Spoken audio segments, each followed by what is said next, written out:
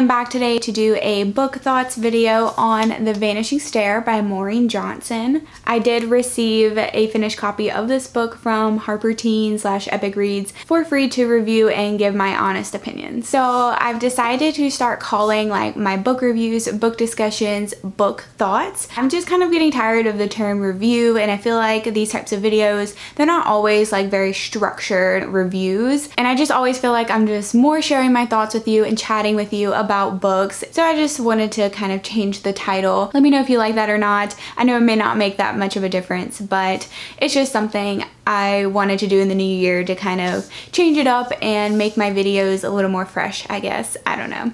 So today we're talking about The Vanishing Stair. As I said, this is the sequel to Truly Devious. I'm pretty much just going to talk about spoilers since it is a sequel and this is a mystery series, so it's hard to talk about it without spoilers. So I'm just going to go ahead and call this like a spoiler discussion. So if you have not read Truly Devious and The Vanishing Stair, please leave the video. I don't want you to be spoiled. Read them, come back, and we can talk about them. I do have a non-spoiler review of Truly Devious, so I'll link that below if you want to see what that book is all about. But for my general thoughts, I did enjoy The Vanishing Stair.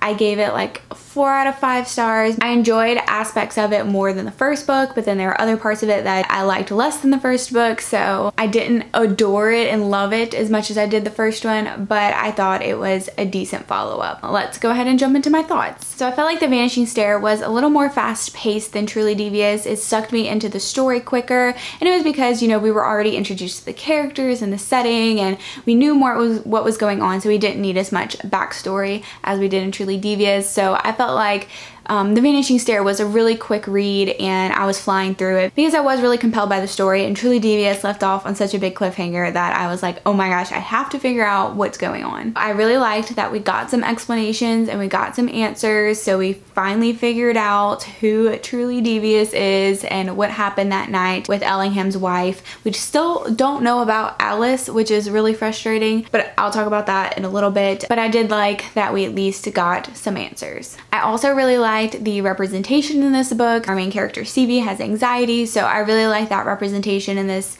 story and I can relate to it on some levels. I think that makes her character definitely have more depth and be more realistic. Stevie's friend V or Vi, I'm not sure how to say it, is non-binary and I thought that was a really cool addition to the story because I feel like I haven't read any young adult books that have non-binary representation. Although Vi, you know, was a side character and I mean, wasn't really there all the time. I thought it was just cool to see that in a book, even if it was a small part of the story. So I'm gonna start getting into more of like spoilers now. I thought the whole deal with Edward King and David was a little weird. Like that whole storyline. I just don't know how I feel about David.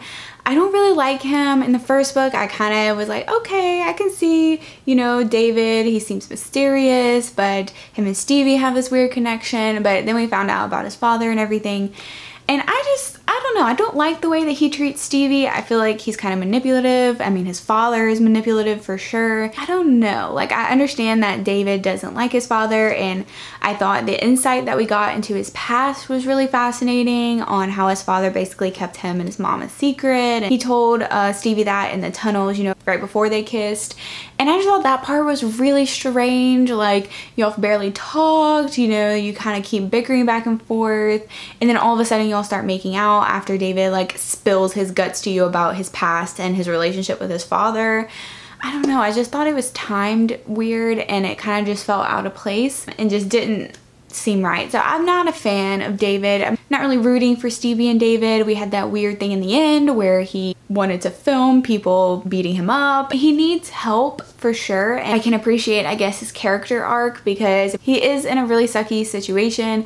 His father is just not a great guy so I see all that but I just don't think Stevie's the person to help him. I don't know I just don't see her I just don't see it working out to where she like fixes him you know. And Stevie's character in this book I really liked her in the first one. I liked how she was very resourceful and just very determined to figure everything out and I loved how she really enjoyed true crime. I just felt like we lost some of her character in this book and maybe it was because Edward King was basically telling her what to do and she was back at the school because Edward King let her. She had to complete this mission for him, which was to make sure David was okay and to keep him in line. And I felt like Edward King just kind of kept telling her what to do. She just didn't have as much like self-direction, I guess. I don't know, I feel like she was being kind of controlled and manipulated. I mean, towards the end, she did figure out the mystery and she went on her own and did that. So her crime solving skills were still in play in this story, but I just felt like her character wasn't as lively as the first book. But this is, you know, a really dark story and there's a lot of bad things going on in this book. So I guess I can understand. So we have these new characters of the professor and Hunter. You know, the professor also was like giving Stevie tasks and making her go do things. So I feel like Stevie just kind of had a lot of people telling her what to do. Yeah, they were kind of weird. I don't know, they were strange. I don't know Hunter's deal, like are Stevie and Hunter flirting? What really is going on with Hunter and the professor because I'm not sure if I believe his story. It's just all very strange. And then the ending of the book, whenever the professor died and she just said, the boy is there. Like, what boy is she talking about? Hunter? Like, what's going on? So this book definitely still left off on cliffhangers and unanswered questions. So of course we are gonna get a third book, which I'm okay with that. I do really enjoy this world. I do. I enjoy this setting and I enjoy the mystery and crime part of it. So um, I'll definitely read the next book, but I was just like, what? What is going on? And then there was the piece um, about Alice that was like left unanswered. Marsh found out about Alice and Ellingham's secret with her, so we don't really know like where she is, what's going on. Did she die? Was she kidnapped? I don't know. So that's still a big question mark. So I thought the way it ended, how we found out about Truly Devious, that it was um, actually the two kids that wrote the letter and it had nothing to do with the kidnapping and that Marsh was the one that kidnapped the wife and all of that. Kind of disappointing that there wasn't this, you know, crazy like monster in the shadows kind of thing going on, that it was just Marsh, but I liked how it was developed with the Sherlock Holmes and Dottie and all that, how it was in the wire or whatever. Like I thought that was a really cool thing and how the riddle played into it with the stairs, all that mumbo jumbo. I thought it was really cool how it all tied into the story and um, I just felt really bad for Dottie and figuring out, you know, really what happened to her. Like it was just really sad, but I'm just really glad we know now. But like I said, I will definitely read the next book and I am interested to get more answers, see how it all wraps up. I'm not totally sure is the next book the last book. Maybe the next book will be a little happier than this book. I just felt like this book had a lot of doom and gloom. So those are all of my thoughts on The Vanishing Stair. Let me know your thoughts in the comments below. Thank you so much for watching. I hope you enjoyed and I will see you next time.